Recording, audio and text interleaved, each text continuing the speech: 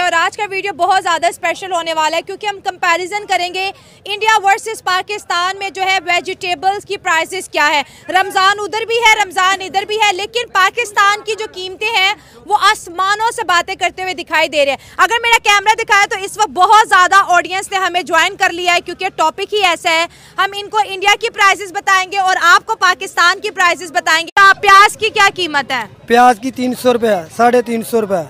साढ़े तीन सौ रुपया ये बहुत महँगा नहीं है। इनसे और इनके ऊपर इतना बोझ ना डालें सही बात कि इतने बिजली के बिल हैं या किसी और चीज़ का है तो गरीब आदमी जाए तो कहाँ जाए? या इन्हें यही कहें कि सबको कहें कि फ्री जहर की बोतल देते हैं सब पी लें।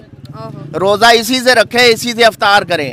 जो बच गया ठीक है जो ना बचा उसे वैसे दरिया बुर्द कर दें समुंदर के अंदर दफन कर दें। खुद तो अपने महलों के अंदर भी वो कब्रस्तान बना लेते हैं। गरीब आदमी को इस कब्रस्तान में जगह नहीं मिलती। उसे बीस हज़ार क्या तीस हज़ार में कब्र देने के लिए गोरकन भी नहीं दिया। लहसन की क्या कीमत चल रही है? कीमत सात सौ रुपये किलो। लहसन सात सौ रुपया किलो। टमाटर कितने कीमत है? दो सौ रुपये किलो। दो सौ रुपया किलो है।